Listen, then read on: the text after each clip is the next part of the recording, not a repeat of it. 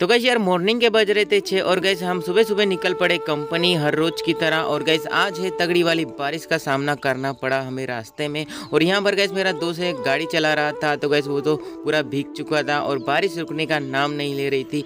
और यहाँ पर गैस मैं भी थोड़ा बहुत भीग चुका था और यहाँ पर थोड़ी बारिश कम हुई। फिर हम चल पड़े गैस वापस कंपनी की ओर। मेरे गाँव से गैस कंपनी है पंद्रह सोलह किलोमीटर और गैस यहाँ पर मैं आपको बता दूँ, एक तरफ़ रास्ता बन रहा था, एक तरफ़ सिंगल रास्ता चालू था। तो गैस यहाँ पर काफ़ी मुश्किलों का सामना करते हुए फाइनली गैस हम पहुँच चुके हैं कंपनी जो कि gas Apollo tyre Limda plant फिर यहाँ पर गैस सिक्योरिटी गेट पर अपना मोबाइल जमा करवाया क्योंकि गैस हमें अंदर ले जाने नहीं देते मोबाइल अलाउड नहीं है। Billion, billion, times फिर यहाँ पर गैस तीन बजे छुटने के बाद यहाँ पर गैस बारिश रुकने का नाम नहीं ले रही थी और यहाँ पर गैस अपना कॉन्ट्रैक्ट वाला गैस रेनकोट बांट रहा था तो रेनकोट लिया मैंने और घर आ चुका था। और यहाँ पर घर आने के बाद चाय मैंने तगड़ी वाली बनाई जो कि गैस बारिश में भीग चुका था और पिया मैंने और पीने के बाद अच्छा लग रहा था।